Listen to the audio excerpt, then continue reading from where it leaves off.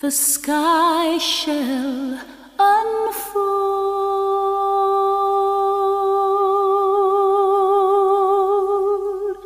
preparing his entrance. The stars shall applaud.